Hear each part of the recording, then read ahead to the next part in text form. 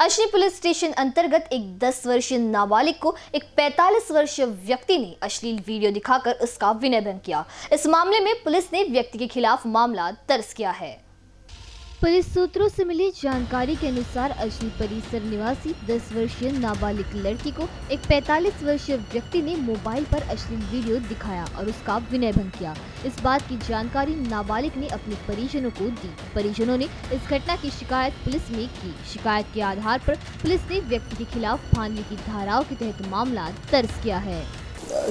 जी अल्पवयीन मुलगी तिला शेजारी एक रूम घेऊन अ, जो माणूस तिथे व्यवसाय करतो त्याने ती रूम घेतलेली आहे. नियमितपणे तिथे राहत नाही. त्याचं जाणं येणं असतं. तर त्यांनी अश्लील चित्रफिती दाखवून आणि स्वतःचे प्रायव्हेट पार्ट्स तिला दाखवून स्पर्श करण्यास सांगितले होते. परंतु त्या मुलीने त्यास नकार देऊन ती तिथनं निघून गेली. आणि घटना साधारण दोन मार्चची आहे.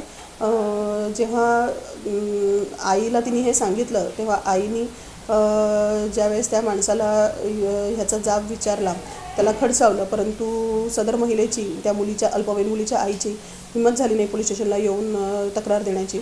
अठ्ठावीस तारखेला त्या मुलीचा वाढदिवस असल्यामुळे जेव्हा तिचे घरच्या लोक आणि वडील ह्यांना ती मुलगी संपर्कात आली आईवडील विभक्त आहेत त्या मुलीचे तर त्यावेळेस वडिलांना तिने हा प्रकार सांगितला आणि वडिलांनी मग मुलीच्या आईला हिंमत देऊन आणि पोलीस स्टेशनपर्यंत आणलं.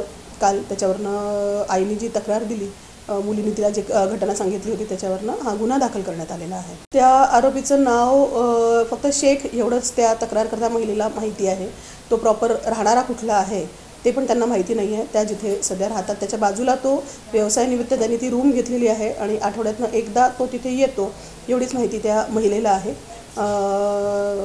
त्याच्यामुळे त्या आरोपीचा शोध घेणं चालू आहे.